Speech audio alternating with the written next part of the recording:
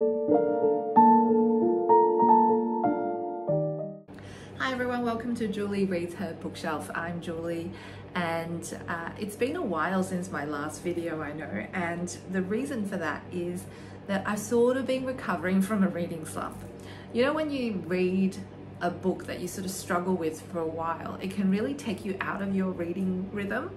And I had that experience with my March of the Mammoth pick, uh, which was Les Miserables by Victor Hugo. And I started reading this in March, and actually, I did really well throughout March. Uh, by the beginning of April, I was probably two thirds of the way through this book. Uh, and then I went on a holiday to China and to Korea for three weeks. And I didn't take this book on holiday with me, it was just too big. So when I got back, I sort of tried to get into the last third of the book. And for whatever reason, it was just such a struggle. So in the end, I ended up spending all of March, some of April, and then all of May reading this bloody book. And, and to be honest, I'm a little bit disappointed with it.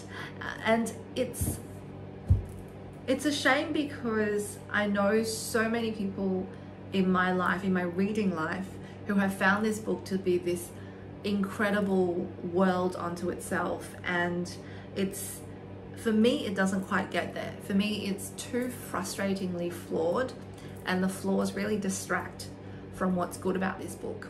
I'm not going to discuss the plot of Les Miserables because most people know what the plot is. Uh, and if you don't, uh, just know that the musical is a fairly accurate adaptation of the main plot of the, the book. And in fact, the musical is probably a lot better paced than the book itself, which tends to go off on a lot of tangents. So with Les Miserables, Victor Hugo wanted it to be his big romantic magnum opus. He finished this book in exile uh, because of his opposition to Napoleon III. And so because of that, I felt like there is a lot in this book about social progress. There's a little bit of realism. There's a lot in this book against the monarchy and against absolute power. And it was trying to do too many things at the same time. It was trying to tell a story. And I and I felt like that should have been being the first and primary goal of the book.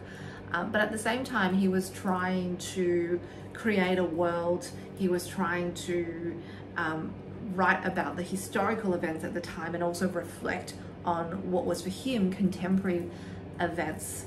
And it was trying to be political and personal at the same time. And there was just too much political point scoring going on.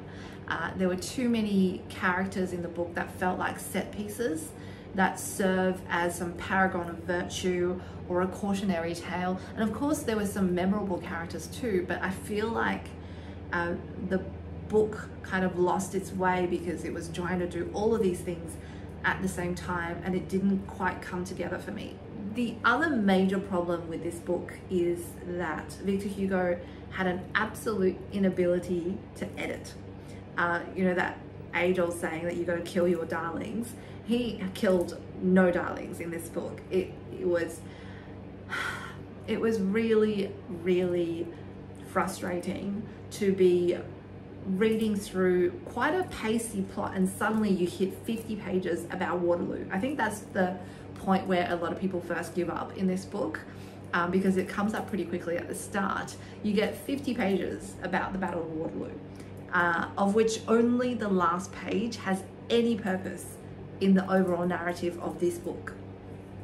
Um, there's about 20 pages on the role of convents and what Victor Hugo thought about convents. I think the worst offender in all of this was um, in the middle of the barricade scene towards the final sections of the book when all was lost and you've had, you have action, you have um, people being absolute heroes and martyrs and fighting in the name of the revolution and then suddenly you hit a couple of chapters about the sewage system in Paris and of course, the sewers do play a role in the background to one of the final parts of the book, but there was absolutely no need to tell me the history of the waste system in Paris. Absolutely no need. And this is one of those really, really frustrating things that takes you out of the plot of the book and it really disconnects you from the characters. My final complaint about this book, and I promise I will talk about some good things about this book too, but my final complaint about this book is the main female character, Cosette, because she's just so undercooked. And I remember watching the mu musical a couple of years ago and thinking, Cosette is so boring as a female protagonist. Like Eponine, who's, you know, in this book for maybe only about half of it, uh, is so much more complex and interesting a character than Cosette ever was. And I wondered when I was reading through this book whether Cosette would be slightly different because actually a lot of characters in the musical that I felt were quite flat had a bit more dimension to them in the book. The book actually, and that's what the one thing that the book does better than the musical, which is it gives you more depth to all of the characters but not so much Cosette. Um, I felt like Cosette was potentially a little bit more interesting, particularly the parts where she was sort of aware of her beauty and using it um, in a way that you know was maybe a little bit manipulative in the book. Uh, that part I don't feel like came out at all during uh, the musical. But other than that, she's kind of just this sugar and spice totally nice character and incapable of surprising you. And that's the problem with, with having a female character that is somehow this paragon of virtue and innocence. It's really hard to get on their side when they lack that extra dimension to them. So I want to end on a good note. Um, despite all of the flaws, I actually think there are a lot of good elements about this book. Like I said, it didn't quite all come together for me, but there was enough there for me to actually get through 1300 pages, even though at times I was really frustrated with it. Um, the first thing that I really loved about this book is actually the primary storyline. Um, the main story for Les Miserables is fantastic, and it's not a coincidence that this has been adapted into a best-selling musical, uh, a number of movies by now. It's it's got everything. It has a love story. It has stories about revenge and redemption. Uh, there's war, there's there's revolution, there's fighting, but then there's also kind of moments of um, reflection and moments of tenderness in all of this as well. So actually the storyline is fantastic and I just wish that this book was about 500 pages shorter. I, think, I feel like if this was an 800 page book, and had been edited, it would have retained that kind of all-encompassing world of a book vibe, but it would have lost a lot of the distracting elements and the philosophizing. Uh, but I have to acknowledge that the plot is really good.